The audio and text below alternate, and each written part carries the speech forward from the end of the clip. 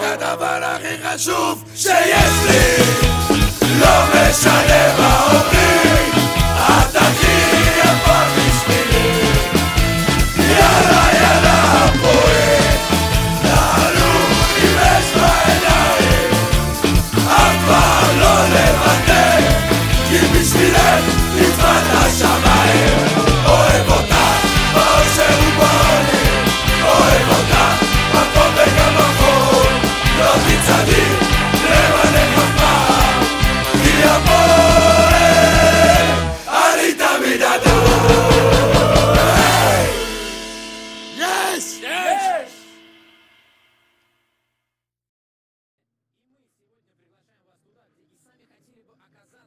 Все вы должны быть здесь.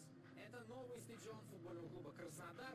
Он сегодня открывается, и сегодня это новый стадион сборной России. Наша национальная команда в городе Краснодаре сыграет очередной же третий по счету за время работы Станислава Черчесова контрольный матч